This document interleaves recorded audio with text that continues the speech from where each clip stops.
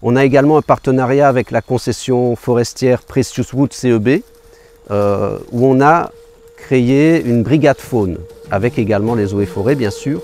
Et donc là, on, lutte contre le braconnage à l'échelle de cette concession qui fait quand même 630 000 hectares.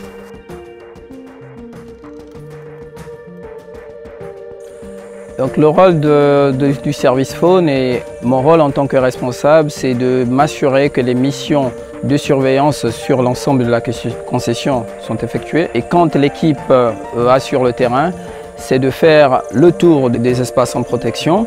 Et derrière, c'est d'identifier si jamais il y a des activités illégales ou des indices d'activités illégales. Ça peut être une douille de cartouches, ça peut être un piège, ça peut être un campement de chasseurs. Ici, on a, comme je le disais plus tôt, 14 séries de protection qui, euh, qui concernent aussi bien la biodiversité animale que la biodiversité euh, végétale. Et on retrouve généralement des salines, ou encore des clairières, ou encore des savanes et des forêts, ou parfois euh, des, espaces mixtes, c'est-à-dire forêt-savane, des mosaïques. Ces espaces qui, qui- qui sont des, forêts de, haute valeur de conservation sont une obligation pour, pour CEB parce que c'est inclus dans la loi, mais c'est aussi des espaces complémentaires aux aires protégées. Quand on préserve ces espaces, on préserve aussi la biodiversité animale, on préserve le- leur lieu d'alimentation, on préserve aussi leur lieu d'épanouissement.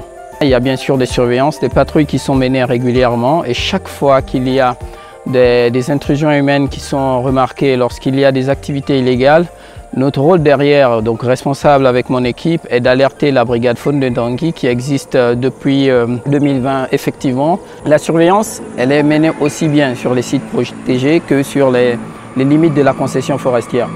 On les, on les mène également sur les barrières euh, érigées le long des routes administratives.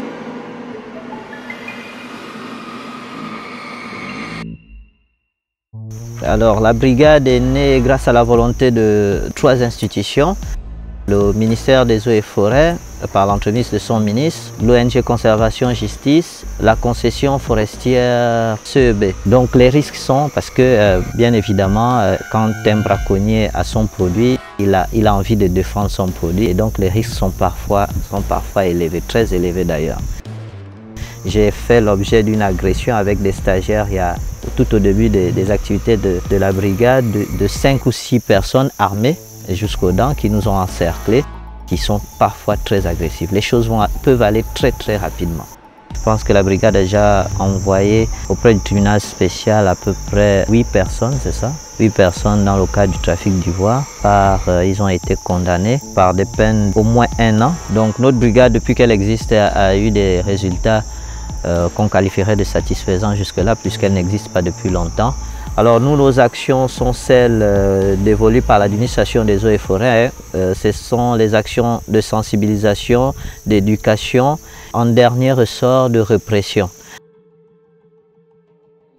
Je m'occupe de tout ce qui concerne les sensibilisations dans la concession forestière Precious Wood CEB. Donc aujourd'hui, on peut euh, s'entretenir avec les adultes, mais les populations cibles, c'est plus les enfants qui doivent bénéficier de ces richesses qui doivent être pérennisées. Et ce sont ces mêmes populations qui doivent sensibiliser les adultes et les générations qui viendront après eux.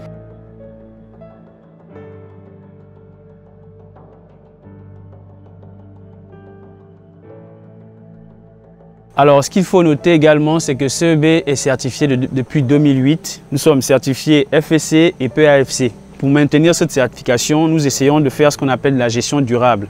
Nous essayons de remplacer tout ce qui est prélevé. Ici, nous sommes à la pépinière. C'est une pépinière qui a une capacité de 20 000 plants.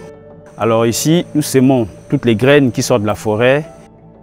Donc dans ce processus de gestion durable, nous allons reboiser les espèces qui deviennent sensibles au niveau de la forêt, des espèces qu'on ne retrouve plus forcément.